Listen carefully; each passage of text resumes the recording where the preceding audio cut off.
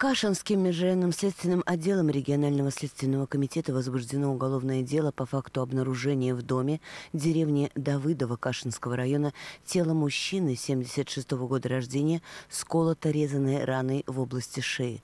На место происшествия незамедлительно был организован выезд следственно-оперативной группы в составе сотрудников следственного отдела, криминалиста следственного управления, сотрудников уголовного розыска и экспертных подразделений УМВД.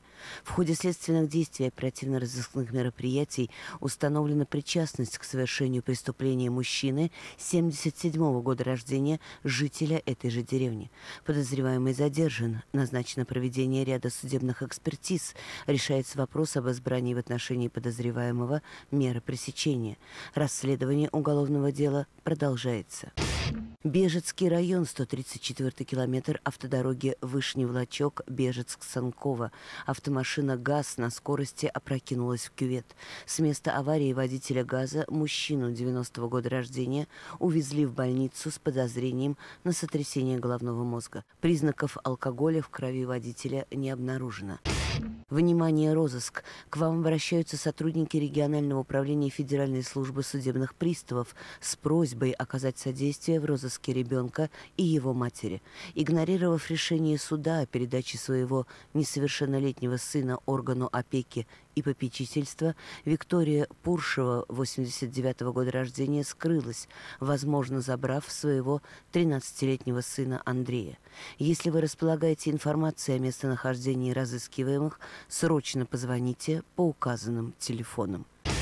В Международный день освобождения узников фашистских концлагерей представители регионального следственного комитета провели урок с учащимися 35-й Тверской школы.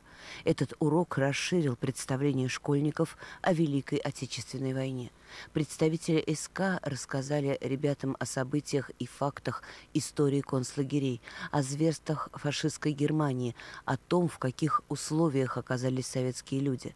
Такое общение, считают руководители СУСК, ЦСКА развивает в ребятах чувство сопереживания и сострадания к погибшим, уважение к защитникам Родины, позволяет по-новому взглянуть на героическую историю Отечества.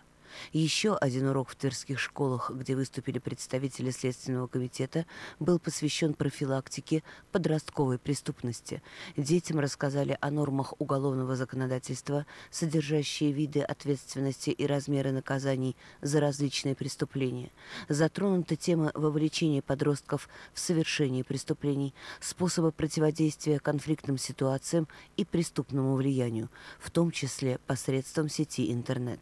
Кроме того, представители Следственного комитета разъяснили ребятам, как вести себя, когда родителей нет дома, напомнили об опасности открывать дверь незнакомым и вступать с ними в разговор.